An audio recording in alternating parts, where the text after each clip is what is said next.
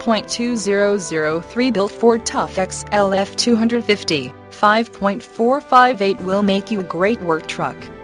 Not many frills just function. With just 61,799 miles, this car is barely broken in.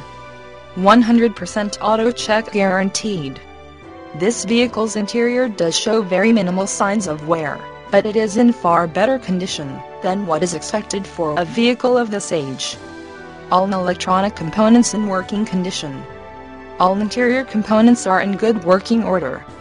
This vehicle is priced to sell. View all our inventory automatic transmission www.bobutterford.com or www.bobutterkia.com. Follow us on Facebook.